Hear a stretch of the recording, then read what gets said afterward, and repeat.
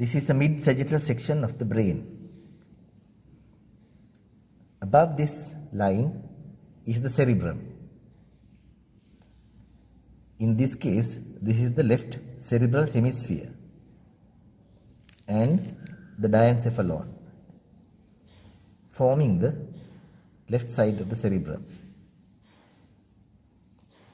This is the corpus callosum connecting the two cerebral hemispheres with the septum pellucidum separating the, the lateral ventricle on the left side and the right side here.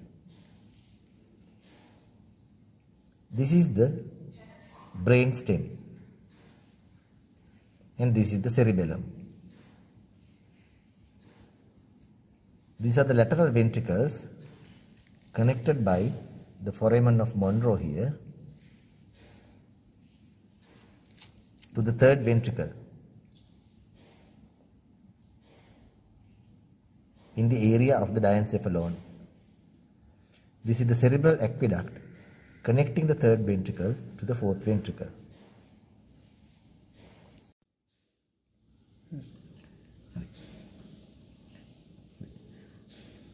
Identify the parts of the diencephalon. This is the area of the diencephalon.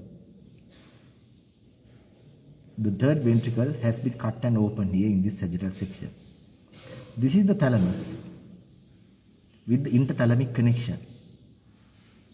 This is the area for the hypothalamus with the pituitary stalk attached to its inferior surface. This small area is called epithalamus with the pineal gland attached to its posterior surface. And below that is the subthalamus. This is the cerebral aqueduct connecting the third ventricle here to the fourth ventricle.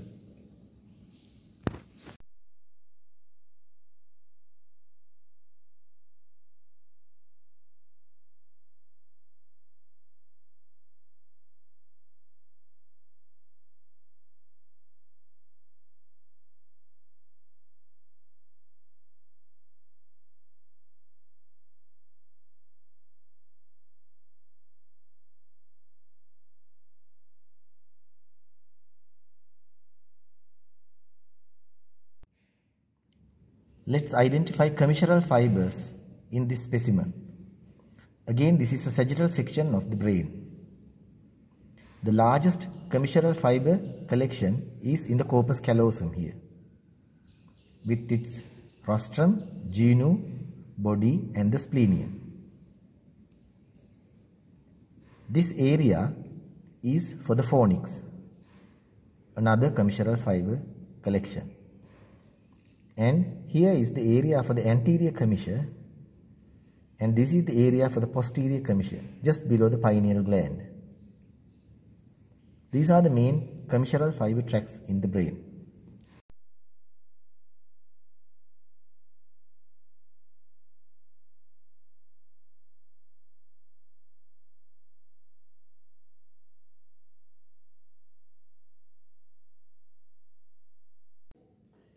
Identify the corpus callosum. It has a rostrum, genu, body and a splenium. Corpus callosum attaches the two cerebral hemispheres together. Over the corpus callosum, you can identify the cingulate gyrus.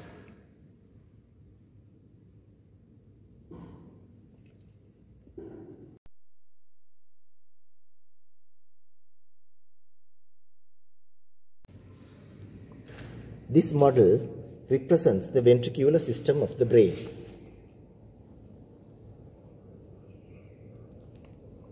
This is the anterior horn of the lateral ventricle. This is the body of the lateral ventricle, posterior horn of the lateral ventricle, and the inferior horn. The anterior horn and the anterior part of the body lies in the frontal lobe. Posterior part of the body lies in the parietal lobe and the posterior horn lies in the occipital lobe. Inferior horn lies in the temporal lobe. You can identify the third ventricle here and the cerebral aqueduct leading from the third ventricle to the fourth ventricle.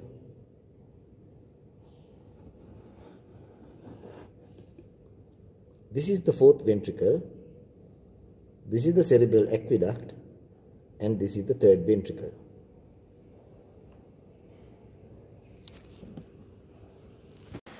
Now I am going to cut this brain specimen to show you the anterior, posterior and inferior horns of the lateral ventricles.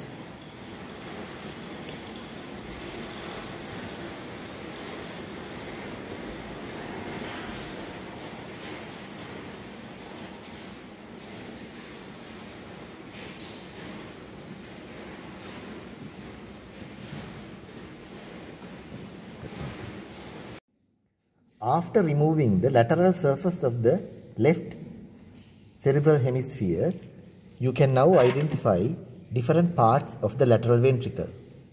This is the anterior horn of the lateral ventricle in the frontal lobe. This is the body of the lateral ventricle. And this is the posterior horn of the lateral ventricle going into the occipital lobe. And this is the inferior horn of the lateral ventricle lying in the temporal lobe. In the flow of the lateral ventricle, you should be able to identify the choroid plexus. Choroid plexus is there to produce the cerebrospinal fluid.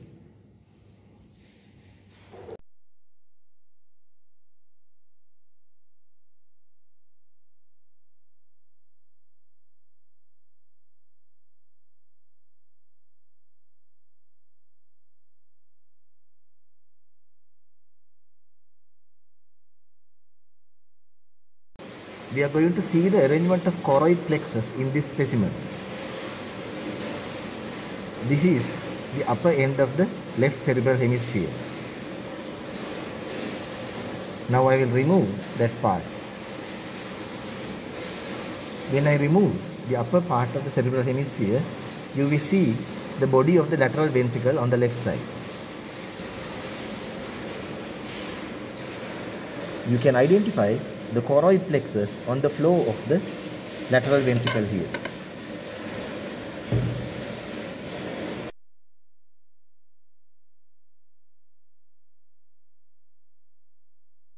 This is a full brain specimen. This is the frontal lobe, parietal lobe, occipital lobe and the temporal lobe. This is the cerebellum and the brain stem. I am going to cut this brain horizontally about 1 centimeter above the inferior surface of the frontal lobe.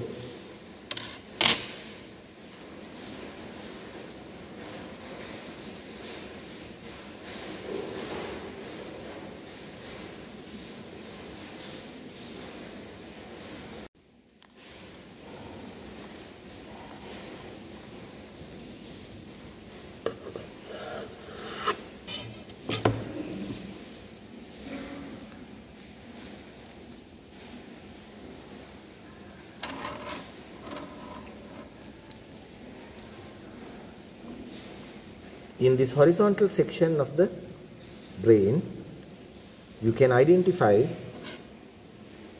the head of the caudate nucleus the lentiform nucleus with the putamen and the globus pallidus the thalamus and the internal capsule. This is the third ventricle between the two thalami. And this is the cut rostrum of the corpus callosum. And these are the inferior horns of the lateral ventricles.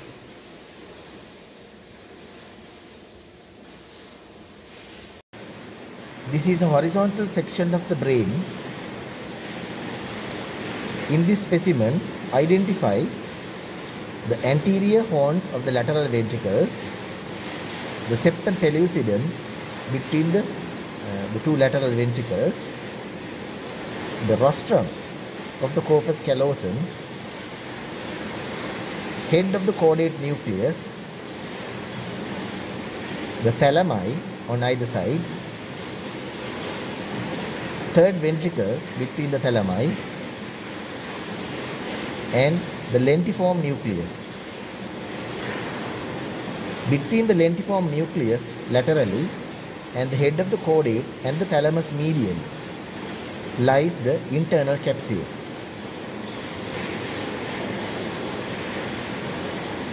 Internal capsule contains projection fibers. There is an anterior limb, a genu, and a posterior limb to the internal capsule. The lentiform nucleus has two components, putamen and the globus pallidus. You can identify the splenium of the corpus callosum at the back here.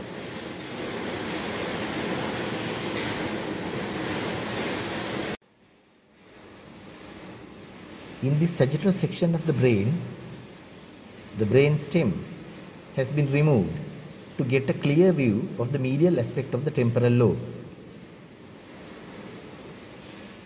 Identify the parieto-occipital sulcus and the posterior part of the calcarine sulcus here. The two sulci meet and continue here. This can be called the anterior part of the calcarine sulcus. There is another sulcus here which is called the collateral sulcus. Between the collateral sulcus and the anterior part of the calcarine sulcus, this gyrus is called parahippocampal gyrus. At the anterior end of the parahippocampal gyrus is the uncus.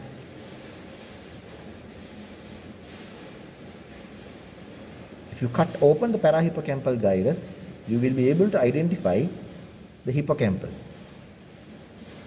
These, these parts contribute to form the limbic system.